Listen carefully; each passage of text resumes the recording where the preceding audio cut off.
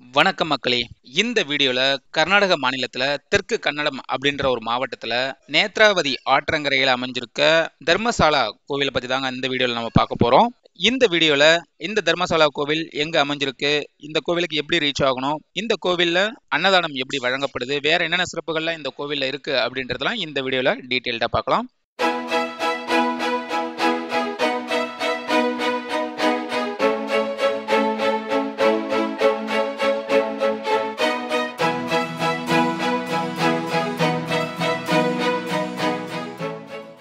இப்போ நாங்கள் குக்கே சுப்பிரமணியா கோவிலில் தரிசனம் பார்த்துட்டு அடுத்ததாக தர்மஸ்தலா போய்கிட்டு இருக்கோங்க.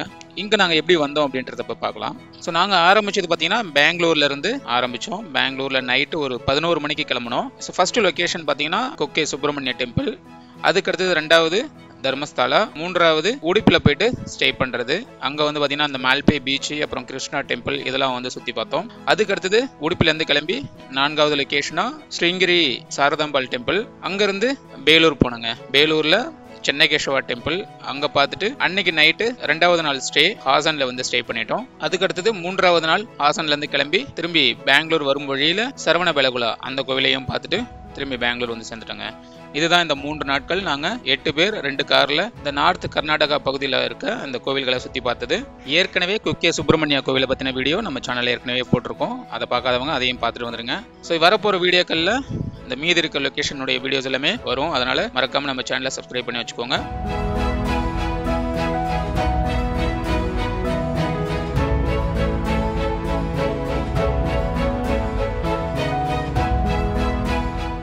கோவில் கிட்ட வந்தாச்சுங்க. இங்க வந்து ஒரு மியூசியம் இருக்கும். அந்த மியூசியம் பக்கத்திலேயே பார்க்கிங் வசதி இருக்கு. ஒரு பெரிய பார்க்கிங். இங்க வந்து நீங்க காரோ இல்ல உங்க டூரிஸ்ட் வெஹிக்கிளா வந்தாலும் இங்க இங்கேயே நீங்க வந்து பார்க் பண்ணிக்கலாம். அதை தூரத்தில் தெரியுது பார்த்தீங்களா தென்னை மரம் அங்கே தான் நமக்கு கோவில் இருக்குது தர்மஸ்தலா கோவில். இங்கே பார்க் பண்ணிவிட்டு அப்படியே நம்ம கோவிலுக்கு போக வேண்டியது தான் தூரல் போட்டுக்கிட்டே இருந்ததுங்க. அப்படியே வாங்க நடந்து கோவில்கிட்ட போவோம். இ- இது வந்து பார்க்கிங்லேருந்து நம்ம கோவிலுக்கு போகிற வழி. போகிற வழியில் பார்த்தீங்கன்னா லெஃப்ட் சைடில் நிறைய இந்த பழைய மரத்தேர்கள் வந்து இந்த இடத்துல வந்து காட்சிப்படுத்தி வச்சுருப்பாங்க. ரொம்ப ஆண்டுகளுக்கு முன்னாடி பயன்பாட்டில் இருந்த தேர்கள் போல் இருக்குது இந்த இடத்துக்கு வந்து ரீச் ஆகணும் அப்படின்னா சப்போஸ் தமிழ்நாட்டிலேருந்து வரீங்க அப்படின்னா பெங்களூர் யஷ்வந்த்பூர் ரயில்வே ஸ்டேஷன் வந்துட்டீங்க அப்படின்னா யஷ்வந்த்பூர் ரயில்வே ஸ்டேஷன்லேருந்து உங்களுக்கு ட்ரெயின் அவைலபிள் இருக்குங்க அங்கே வர்றதுக்கு. அதன்படி பார்த்தீங்கன்னா யஷ்வந்த்பூர் ரயில்வே ஸ்டேஷன்லேருந்து டெய்லி இரவு ஏழு மணிக்கு பஞ்சகங்கா அப்படின்ற ஒரு சூப்பர் ஃபாஸ்ட் ட்ரெயினும் அடுத்தது நைட்டு ஒன்பது நாற்பத்தி ஏழுக்கு கண்ணூர் எக்ஸ்பிரஸும் ஒன்பது மணிக்கு முருதேஸ்வர் எக்ஸ்பிரஸும் இருக்கு.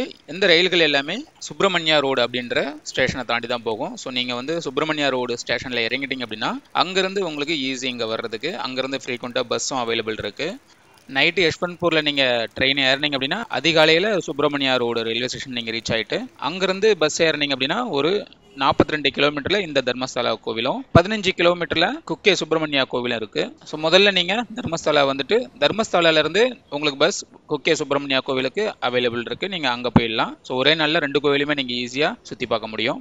ட்ரெயின் டைமிங் பற்றி ஏதாச்சும் டவுட் இருந்ததுன்னா கிழக்க கமெண்ட் பாக்ஸில் சொல்லுங்கள் நான் கண்டிப்பாக ரிப்ளை பண்ணுறேன் கோவிலுக்கு போகும்போது பாருங்கள் செம மழை நல்ல மழை பெய்யுது. அப்படியே மழையில் நனைஞ்சுக்கிட்டே கோவில்கிட்ட போயிட்டோம்.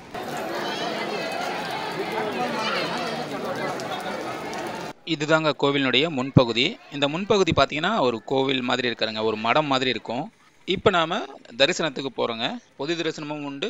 அப்புறம் ஸ்பெஷல் தரிசனமும் உண்டு. நாங்கள் வந்து பொது தரிசனத்திலே போயிட்டோம். நாங்கள் போனப்போ கொஞ்சம் கூட்டம் கம்மியாகவே இருந்தது. ஆண்கள் எதுவும் மேலாடை இல்லாமல் தாங்க நம்ம வந்து போய் தரிசனம் பார்க்க போகணும். ஸோ உள்ளே போகிற வரைக்கும் நீங்கள் சட்டை போட்டுக்கிட்டு போகலாம். கிட்ட தரிசனத்துக்கிட்ட போகும்பொழுது நீங்கள் சட்டை இல்லாமல் மேலே ஏதாவது ஒரு துண்டு போட்டுக்கிட்டு நீங்கள் உள்ள தரிசனத்துக்கு போகலாம். இங்கே உள்ளே போகும்பொழுதே உங்களை வந்து செக் பண்ணி தான் அனுப்புவாங்க. கேமரா மற்ற எந்த ஒரு பொருளும் அளவுடு இல்லைங்க உள்ளார. திருப்பதியில் வந்து எப்படி இருக்கும் பார்த்தீங்களா ஒரு பெரிய நீண்ட வரிசையில் கியூ இருக்கும் இல்லைங்களா? அந்த மாதிரி இங்கேயும் போட்டு வச்சுருக்காங்க.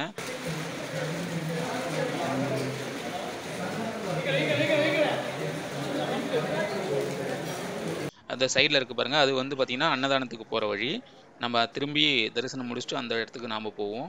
இது வந்து பார்த்திங்கன்னா தரிசனத்துக்கு போகிற வழி. ஸோ ரொம்பவே பாருங்கள் கூட்டம் இன்றைக்கி ரொம்ப கம்மியாக இருக்குது இந்த கோவிலில் மூலவர் வந்து மஞ்சுநாதர் அப்படின்றவர் மூலவராக இருக்கார். காவல் தெய்வங்களா குமாரசுவாமியும் கன்னியாகுமரி அப்படின்ற தாயாரும் இருக்காங்க. இந்த கோவிலில் திருவிழான்னு பார்த்தீங்கன்னா மகா சிவராத்திரி நவராத்திரி இந்த மாதிரியான நாட்களில் வந்து திருவிழாக்கள் வந்து நடக்குது. அதே போல இந்த தர்மஸ்தாலால தர்ம தேவதைகளுக்குன்னு தனி சன்னதி இருப்பது இந்த கோவிலினுடைய சிறப்புங்க. இந்த கோவில் திறக்கிற நேரம் பார்த்தீங்கன்னா காலை ஐந்து முப்பதுல இருந்து பன்னிரெண்டு மணி வரைக்கும் மாலையில் பார்த்தீங்கன்னா நான்கு மணிலேருந்து இரவு ஒன்பது மணி வரைக்கும் திறந்திருக்கும்.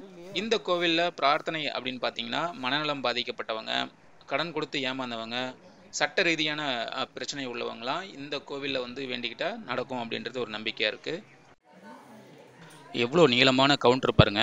இன்றைக்கி கூட்டம் அதிகமாக இல்லாததுனால நாங்கள் கொஞ்சம் சீக்கிரம் ஒரு பத்து பதினஞ்சு நிமிஷத்தில் நாங்கள் வந்து சாமியை தரிசனம் பண்ணிட்டோம். இதே கூட்டம் அதிகமாக இருக்க மாதிரி இருந்தால் ரொம்ப நேரம் ஆகும்னு நினைக்கிறேன். தரிசனம் முடிச்சுட்டு நம்ம இந்த வழியாக தாங்க வெளியே வரணும். இதுதான் ஏற்கனவே சொல்லியிருப்போம் இல்லைங்களா? கோவிலினுடைய முன்பகுதின்னு. வெளியில தான் பார்க்கறதுக்கு இந்த மாதிரி இருக்குது ஆனால் உள்ளே பார்த்தீங்கன்னா ஒவ்வொரு தெய்வங்களுக்கும் தனித்தனி சன்னதி ரொம்ப அழகாக அந்த கேரள பாணியில் தான் இங்கேயும் கோவில் கட்டி வச்சுருக்காங்க.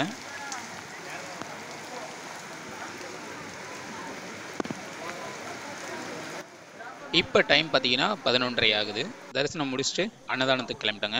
அதோ தெரியுது பாருங்கள் அதுதான் நம்ம அந்த தரிசனத்துக்கு போன கவுண்டரு நான் ஏற்கனவே காட்டியிருப்பேன் அங்கேருந்து இந்த கவுண்டரு இப்போ நம்ம போகிறது அன்னதானத்துக்கான கவுண்டரு இந்த கோவிலை பொறுத்த வரைக்கும் தினமும் குறைந்தது பத்தாயிரம் பேருக்கு அன்னதானம் வழங்கிக்கிட்டு இருக்காங்க. விசேஷ நாட்களில் இன்னும் ரொம்ப அதிகமாகும் அப்படின்னு சொல்கிறாங்க ஸோ வர அனைவருமே இங்கே வந்து தரிசனம் முடிச்சுட்டு அன்னதானம் சாப்பிட்டுட்டு போனால் தான் அந்த முழுமையான தரிசனம் முடிஞ்சதா அர்த்தம் அப்படின்னு சொல்கிறாங்க அதனால் இங்கே வர அனைவரும் ஏழை பணக்காரன் ஜாதி மதம் அப்படின்ற மாதிரியான எந்த ஒரு பாகுபாடும் இல்லாமல் இங்கே வந்து அனைவரும் சமமாக சாப்பிட்டுட்டு தான் போகிறாங்க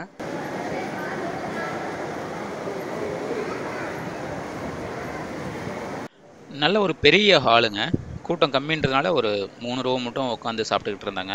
கீழே தரையில் தான் உட்காந்து எல்லாரும் சாப்பிட்றாங்க. உட்கார்றதுக்கு மட்டும் ஒரு சின்ன ஒரு மேடை மாதிரி போட்டு வச்சுருக்காங்க. ஸோ எல்லாரும் உட்காந்ததும் மந்தார இலையை வந்து எல்லாருக்கும் கொடுக்குறாங்க. ஏன்னா ரொம்ப நாள் ஆகுது இந்த மாதிரி இலையெல்லாம் பார்த்து.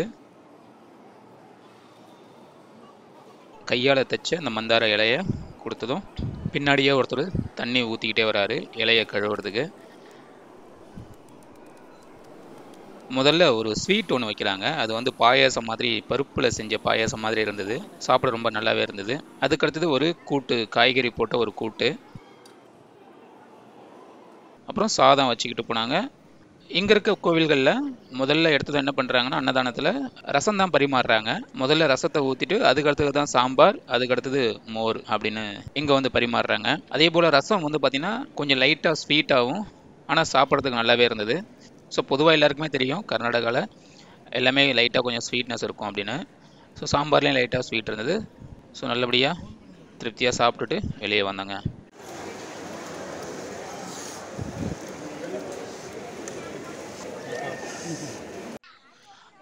போகும்போது நல்ல மழை பெஞ்சிக்கிட்டு இருந்தது.